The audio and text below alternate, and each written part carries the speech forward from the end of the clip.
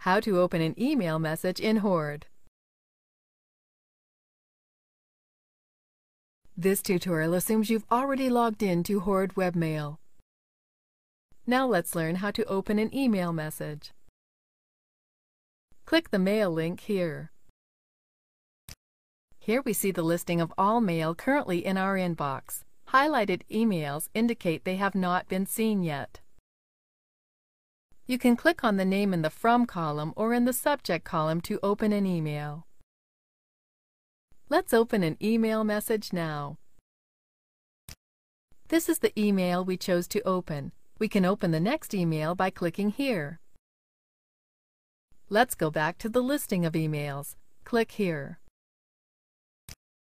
It is also possible to mark an email you've already seen or read as unseen or unread. Let's go ahead and do that now. Click the checkbox next to the email we opened.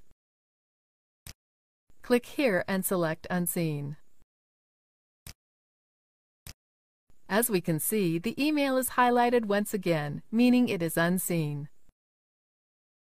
Click the mail link here.